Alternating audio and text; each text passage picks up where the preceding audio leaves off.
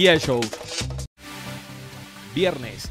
En la Peña Misionero y Guaraní sobre la calle Buenos Aires al 1546. A partir de las 22 horas se presenta Tito Molina, en tanto que el sábado en el mismo lugar y en el mismo horario hará lo propio Andrés González y se anuncia que para las 23 horas se servirá un locro criollo. El viernes también el Centro Cultural Vicente Cidade cumple 27 años junto al arte. Por eso lo festeja con una exposición colectiva de artistas plásticos misionero.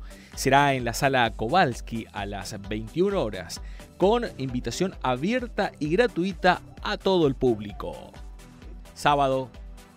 El sábado 19 llegará desde la capital federal la banda Gativideo para presentar su primer disco Colorama.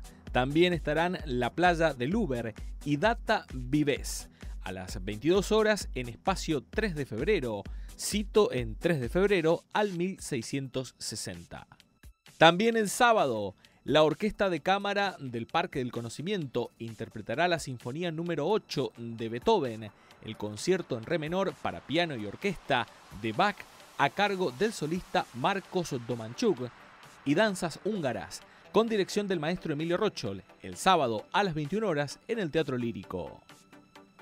Más tarde, cerrando el sábado, fiesta retro en La Aventura, la segunda del año de la mano de Flavio Bogado, para hacer sonar los clásicos ochentosos y los que explotaron en la década de los 90, todo a partir de las 23 horas a orillas del río Paraná. Domingo, en la iglesia San Antonio se presenta el coro estable del Parque del Conocimiento a las 21 horas con el concierto coral latinoamericano será bajo la dirección del maestro Nicolás Albornoz.